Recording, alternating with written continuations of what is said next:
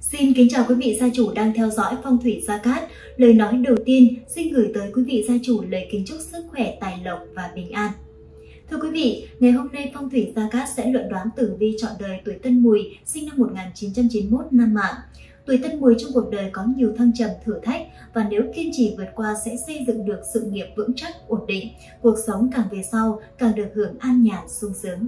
Thưa quý vị, tình duyên vô cùng thuận lợi, vợ chồng Thủy chung son sát, một lòng yêu thương nhau. Đó là một điều rất tốt đẹp. Và sau đây, để tìm hiểu thêm về vận trình tuổi này trong từng giai đoạn diễn tiến cuộc đời, mời tất cả quý vị chúng ta hãy cùng theo dõi phân tích tử vi chi tiết sau đây. Gia chủ Tân Mùi sinh năm 1991 năm mạng, có cung mệnh thuộc cung càn trực bình, mạng lộ bằng thổ, đất đường đi, khắc tuyền trung thủy, con nhà huỳnh đế cô quạnh, xương con dê, tướng tinh con gấu, Phật độ mạng. Chúng ta sẽ cùng chiêm nghiệm tử vi chọn đời năm mạng Tân Mùi qua bài thơ sau. Đoán xem số mạng Tân Mùi, mạng thổ là đất có nhiều người đi. Nếu sinh mùa hạ lo chi, nhiều người giúp đỡ thiếu gì tình thương. Tân Mùi tâm tính hiền lương, giận ai làm giữ nghĩ thương lại người. Nhưng mà cách trở mẹ cha, ly hương tổ quán sau này mới nên, số này cốt cách ít trường, tu nhân tích đức, không thì quy tiên. Nhỏ thời, cầm của không bền, ngày sau mới khá trở nên vững bền.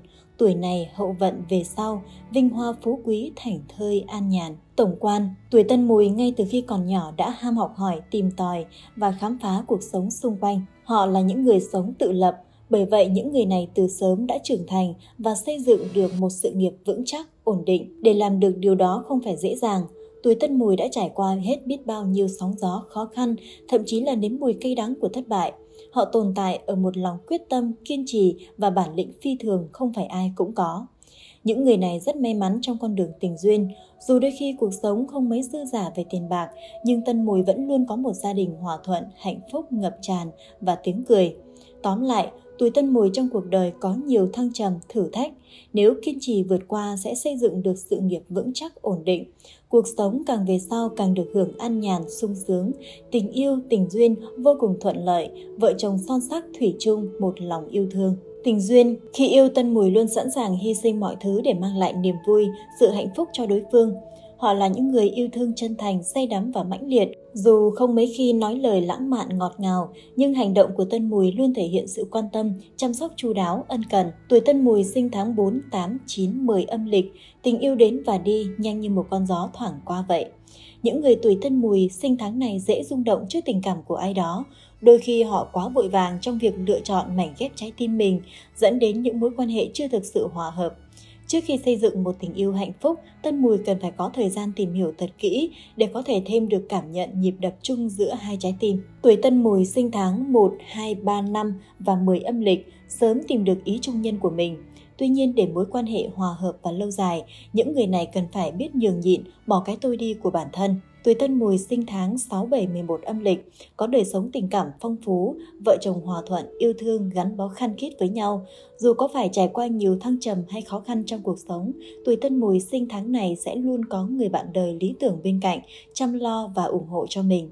Gia đạo, công danh Dù là người sống tự lập, không muốn dựa dẫm ỉ lại vào bất kỳ ai, nhưng đôi khi có những khó khăn mà Tân Mùi không thể tự mình giải quyết.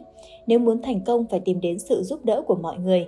Đường công danh sự nghiệp có nhiều bước phát triển vượt bậc khi ngoài 36 tuổi, suốt cuộc đời hưởng tài lộc dồi dào, kiếm được nhiều tiền, tuy nhiên lại không biết cách dành dụng chi tiêu hợp lý. Gia đạo êm ấm, hòa hợp, không xảy ra mâu thuẫn, thế nhưng Tân Mùi cần phải khéo léo hơn nữa trong cách ứng xử với người thân để giữ gìn sự hòa hợp trong mối quan hệ. Để tăng cường vận trình công danh, tài lộc cũng như gia đạo, bản mệnh nên thỉnh đeo vòng tam hợp quý thần, hợi, mão, mùi để hỗ trợ cho tuổi của mình. Mang pháp khí này bên mình, năm mệnh sẽ có được quý nhân phù trợ giúp đỡ trong mọi công việc và cuộc sống. Vòng được thiết kế dựa trên bộ tam hợp hợi, mão, mùi, tam hợp địa chi, tam hợp mộc cục dựa vào sự quý hiếm và tác dụng phong thủy tốt của gỗ huyết long kết hợp khéo léo với ba viên đá mã não mang lại sự sang trọng quý phái cho người sử dụng. Hơn nữa trên ba viên mã não này còn khắc hình ba linh vật hợi mão mùi giúp quy tụ năng lượng tam hợp, chiêu quý nhân tương trợ cho người đeo, hòa hợp các mối quan hệ xung quanh. Đặc biệt, vòng được khai quang chỉ lực để tăng thêm linh khí, sự may mắn, bình an và trở thành một trong những vòng phong thủy hộ thân của riêng bạn. Quý vị gia chủ hữu duyên có thể thỉnh để cảm nhận sự ứng nghiệm cho bản thân của mình. Tuổi hợp làm ăn Chọn tuổi hợp làm ăn sẽ giúp cho công việc, sự nghiệp của Tân Mùi gặp thêm nhiều may mắn thuận lợi. Nếu hợp tác với những tuổi quý hợi, ất hợi, quý dậu, bính tý, kỷ mão thì quý vị sẽ có sự nghiệp thăng tiến như diều gặp gió, không gặp phải bất kỳ sự khó khăn trắc trở nào.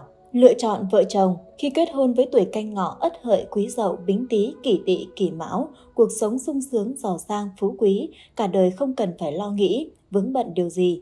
Nếu kết duyên với các tuổi trên, Tân Mùi không những có đời sống tình cảm phong phú thuận lợi mà công việc cũng được thăng tiến, phát triển như ý. Kết hôn với tuổi mậu dần, nhâm thân, sự nghiệp tuy đôi lúc có gặp phải khó khăn trắc trở, nhưng Tân Mùi luôn có một người bạn đời bên cạnh quan tâm, chia sẻ, cùng nhau vượt qua mọi khó khăn thử thách. Kết hôn với người tuổi Bính Tuất, Ất Dậu, Giáp Tuất, cuộc sống vợ chồng không thể tránh khỏi những mâu thuẫn khó khăn.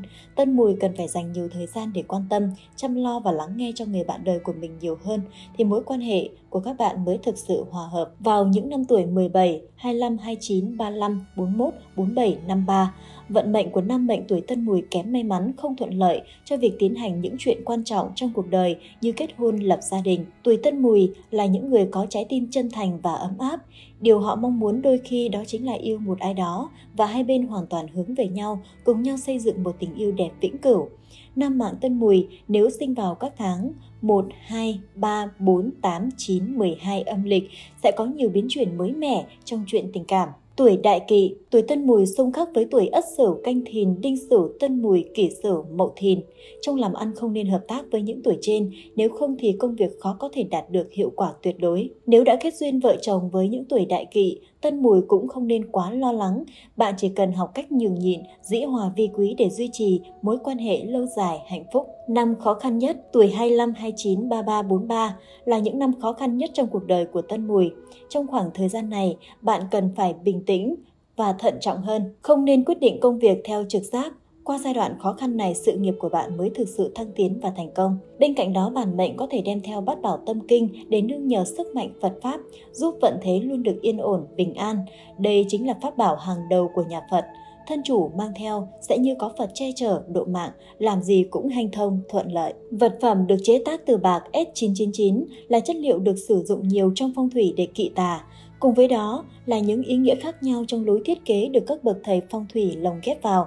Mặt ngoài cùng là tám pháp bảo của Đức Phật là vật phẩm cúng dường khi Ngài giáng thế. Bát bảo chính là biểu tượng của may mắn, bình an và tài lộc. Bên trong là ngũ bộ thần chú được khắc trên cánh hoa sen, biểu tượng của sự thanh tịnh, tịnh hóa nghiệp lực, mang lại phước khí cho gia chủ. Mặt sau có khắc chú bát nhã ba la mật đa tâm kinh. Theo truyền thuyết, khi đường tăng đi Tây Thiên thỉnh kinh, được Phật bà Quan Thế Âm Bồ Tát trao tặng – có bát nhã tâm kinh bên cạnh, mọi việc được hanh thông giúp đường tăng bình an vượt qua mọi thử thách để đến được với Tây Thiên Thỉnh Kinh. Bên trên và vòng trong cùng chính là biểu tượng của hoa sen, nơi tọa thiền của các chư Phật nhằm thể hiện sự thanh cao, tập trung trong công việc, Đặc biệt để phát huy công năng tối đa tốt nhất, bát nhã tâm kinh trước khi đến tay của gia chủ đều được bao sái, tẩy uế, khai quang, nạp chú, chỉ lực, xem ngày giờ đẹp sử dụng cho từng tuổi riêng biệt. Các công việc này đều được tiến hành với các bậc thầy phong thủy nổi tiếng và kiểm nghiệm cẩn thận. Vậy nên có thể nói, đây chính là vật phẩm cá nhân giúp hộ thân trợ mệnh, mang lại bình an, may mắn, cực kỳ hiệu nghiệm cho thân chủ. Ngày giờ xuất hành tốt nhất, chọn ngày đẹp giờ đẹp cũng là một trong những yếu tố tăng sự may mắn thuận lợi cho bản thân. Để công việc làm ăn được diễn ra suôn sẻ theo ý muốn, tuổi Tân Mùi nên xuất hành vào giờ chẵn, ngày chẵn và tháng chẵn. Diễn biến từng năm, từ năm 26 tuổi đến năm 30 tuổi, đây là khoảng thời gian tuổi Tân Mùi có nhiều cơ hội phát triển sự nghiệp, khẳng định bản thân. Tuổi 26-27 nên tham gia nhiều hoạt động xã hội, xây dựng những mối quan hệ hợp tác bền chặt. Từ 28 đến 30 tuổi, tình duyên thuận lợi, có nhiều khởi sắc, đây là dấu hiệu tốt cho một đám cưới hoàn hảo. Tuy nhiên, trong khoảng thời gian này sức khỏe của Tân Mùi lại không mấy lý tưởng, bạn nên tránh làm việc quá sức. Từ 31 tuổi đến 35 tuổi, nhìn chung trong quãng thời gian này, công danh sự nghiệp của Tân Mão vẫn phát triển ổn định. Thu nhập cao hơn trước, tuy nhiên do chi tiêu hoang phí không có kế hoạch mà Tân Mùi dường như không tiết kiệm được khoản tiền nào. Từ 36 đến 40 tuổi, tuổi 36 công việc gặp chút khó khăn chắc trở, đôi khi không được như ý muốn, tinh thần thường xuyên căng thẳng. Khoảng thời gian này Tân Mùi không nên nóng nảy mất bình tĩnh, cần phải dĩ hòa vi quý. Đến tuổi 37, may mắn gặp được quý nhân phù trợ mà khó khăn được đẩy lùi. Từ 38 đến 40 tuổi, tài lộc dồi dào, công việc thăng tiến, đạt được nhiều thành quả tốt đẹp từ 41 tuổi đến năm 45 tuổi. Đây là giai đoạn mở ra đầy khởi xướng tốt đẹp cho cuộc đời của Tân Mùi. Công việc làm ăn ngày càng được mở rộng, thăng tiến, công danh sáng lạn, làm việc gì cũng được như ý muốn. Tân Mùi cần phải tỉnh táo tập trung vào sự nghiệp nhiều hơn để nắm chắc những cơ hội tốt trong tay. Nhìn chung trong năm này, mọi thứ đều được diễn ra thuận lợi như ý từ năm 46 tuổi đến năm 50 tuổi, trải qua quãng thời gian lao động cần cù, làm việc không ngừng nghỉ, cống hiến hết mình vì sự nghiệp. Đây là lúc Tân Mùi được hưởng thành quả của mình một cách trọn vẹn nhất. Khoảng thời gian này bạn nên dành nhiều sự quan tâm chăm sóc đến gia đình nhiều hơn, đặc biệt là người bạn đời luôn bên cạnh mình trong suốt những năm tháng đầy gian nan, khó khăn. Thưa quý vị, luận giải tử vi năm mạng Tân Mùi sinh năm 1991 về vận hạn tình duyên, gia đạo, sự nghiệp – Thay vì phải đến các thầy phong thủy xem tử vi, quý vị gia chủ sinh năm 1991 có thể đọc phân tích luận giải từ chúng tôi.